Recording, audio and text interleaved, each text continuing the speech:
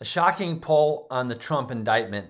What Bill Barr just said Joe Biden's America, and a special invitation. This is Steve Elliott with Grassfire with our special report for our VIPs who are the core, the very backbone of everything we're doing here at Grassfire. I'm so thankful for your VIP partnership. If you're watching this on special invitation, I hope you'll enjoy this special report. Let's get right into it. You may have heard of Bill Barr. He was head of the Justice Department under President Trump, but he's been no fan of President Trump's uh, in the aftermath uh, of, of the of the Trump presidency.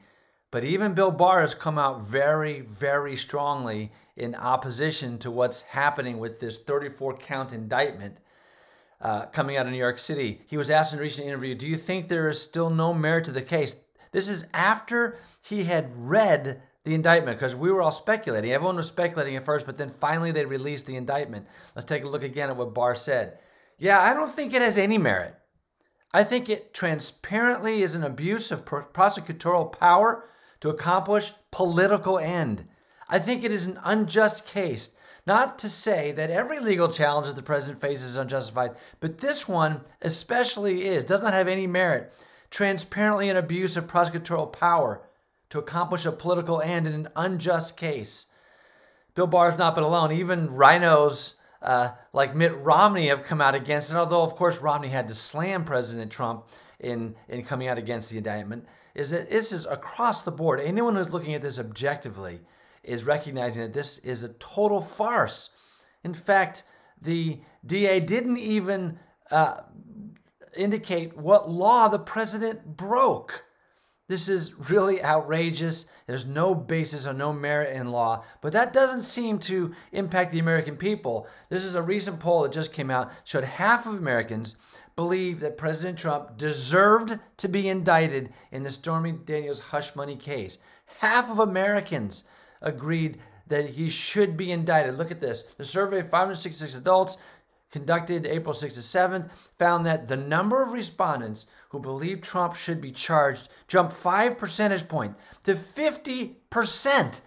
Half of Americans, despite the fact that it's resoundingly considered an abuse of prosecutorial power, it's a farce, it's only being done to attack President Trump in a re-election campaign to try to keep him from being able to run from pres- for president. It doesn't matter the facts of this case.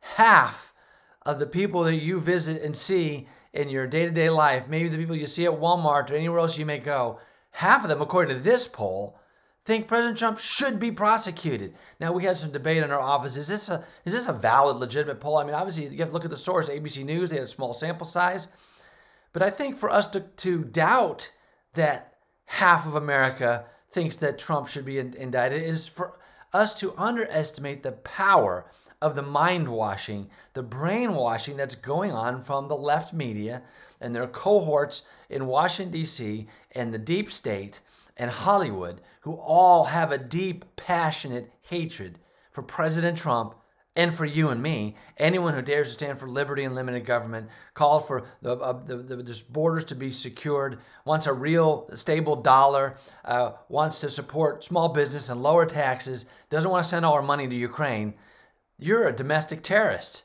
And so, because of the brainwashing, half of Americans now actually think President Trump should be indicted. You know, you can take action. Our VIPs have the opportunity at an 80% discount to send faxes right now to key members of Congress and let them know where you stand on this indictment. This is a great access for our VIPs, 80% discount. Please make sure that you go to your VIP uh, access page right off of grassfire.com and send your faxes today. You know, there's another feature, something else we're featuring in uh, in our in your uh, daily briefings, which are coming out uh, three to five times a week uh, in the morning. It's the first thing you'll get in the morning in your inbox between 7:30 and 8. We're featuring Joe Biden's America. It's actually quite shocking what we're finding. Uh, there's a, a, piece on Tucker Carlson on transgenderism in America. It's fastest growing religion. It's it's so disturbing to watch.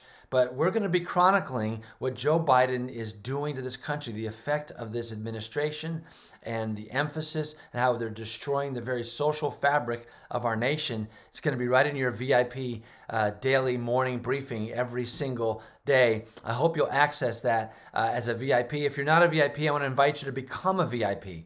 It's just $15 a month, a month to support Grassfire. We need your help. We need a core of citizens who will stand with us as we get the word out to hundreds of thousands of Americans, get the truth out to hundreds of thousands of Americans. As a, v, as a VIP, you're going to receive certain benefits. You're going to get that VIP News Digest I, have talked about uh, in the mornings. It's all the top headlines. I think it's the best summary of the news that you're going to get.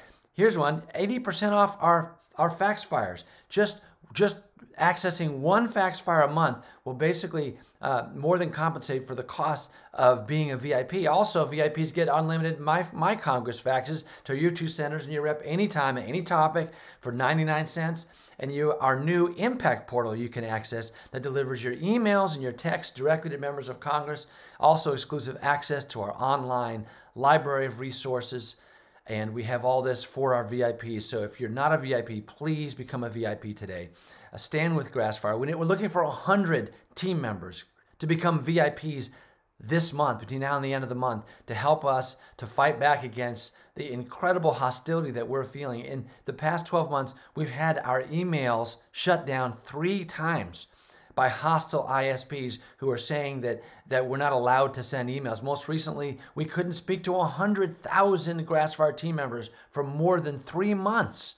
We just recently re- restored that ability, but this is the battle that we're in. It's a battle that we fight every day, and we're not supported by any large organizations, no political parties. We're truly a voice. We want to be a voice of grassroots Americans, patriotic grassroots Americans who stand for liberty and limited government and are willing to, to, to stand for our country against this onslaught that we see. Thanks again. This is Steve Elliott with Grassfire for this special VIP report.